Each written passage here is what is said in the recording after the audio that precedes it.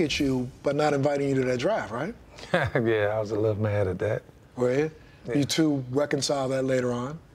I, I, think we just reconciled that when he was in Cleveland playing for the Cleveland Cavaliers. Really? We, it was a, after multiple championships. Right. It was a Thanksgiving, and uh, we were all at the table, and we just started talking about things, and it came up, and I finally got a chance to, you know, say some things that I wanted to say about it. What do you think you instilled in him that gave him his competitive edge? Um, discipline, mostly discipline. I was military, so it had to be discipline and uh, the, the drive to want to be better than me. What I try to do as a father uh, for many kids, because I raised 12 kids along the way, uh, what I try to do is instill uh, leadership in kids and in hopes that they wouldn't be followers. Uh, one of the things we talked about was uh, more men need to have that have a man-to-man conversation not only with their sons but with their daughters. I actually have a uh, non-for-profit dedicated to bringing father and children back together.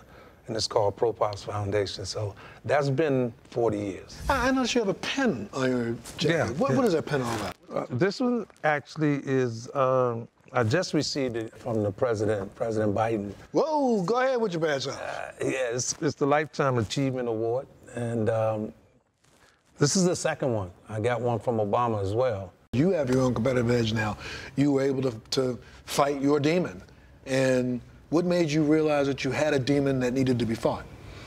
Uh, I think I just, uh, first, the first thing that came to me about drinking was when my mom passed, I tried to, to be the strong one for the whole family. And I did that and I buried her. But when I got back to Miami, I was crying the whole time and I was drinking the whole time. So for like a, a whole month, I was just constantly drinking. Nobody saw me.